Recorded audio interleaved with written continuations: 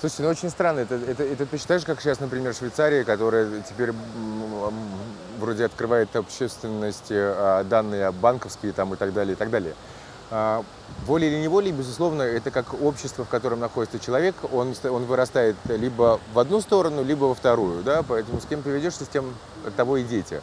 Но э, история ам, ареста имущества, ну, на мой, на мой взгляд, неправомерно, потому что мы все-таки мы платим налоги той стране, а, если мы что- что-то там приобретаем, да, точно так же, как и иностранные граждане. Мы, то есть мы, мы находимся в стране, мы берем визы, рабочие или туристические, это уже другой вопрос.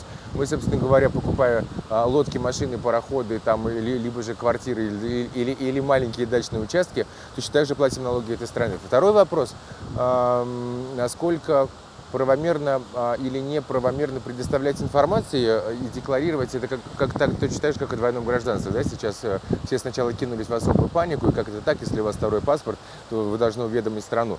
Ну, говорить об этом можно долго, и кто-то считает это ущемлением прав, кто-то нет.